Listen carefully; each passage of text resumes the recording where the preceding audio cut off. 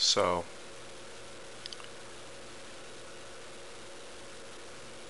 it's all one conversation. And when we perceive our reality to collapse into a state of being, it's actually not happening like that. It seems like it's collapsing into this state, but in rea- in reality, in quantum physics now, it's Christian just told me that it's been proven mathematically that the observer and the observed are evolving independently of each other.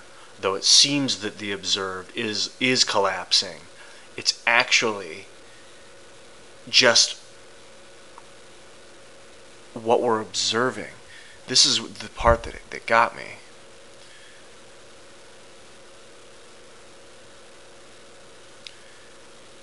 The subsequent evolution of each pair of relative subject object states proceeds with complete indifference as to the presence or absence of other elements, essentially saying that the observer evolves independent of what it's observing. That we are just changing in the moment. What we're observing is not truly what we're observing, we are just constantly in a state of all knowing it seems that like we're observing something, but we're actually observing everything. And it's all one conversation. Our surroundings aren't changing. It's actually always our surroundings, the same wave of surrounding, which seems different, but it's always the same.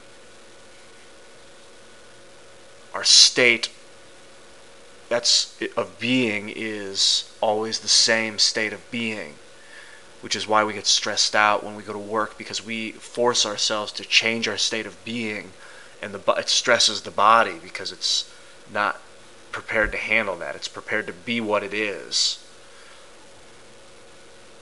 Physically we, we, we push against what's actually happening physically and we suffer as a result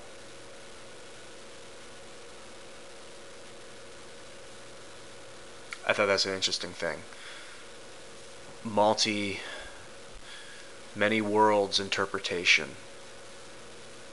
Hugh Everett did a lot of formula on this.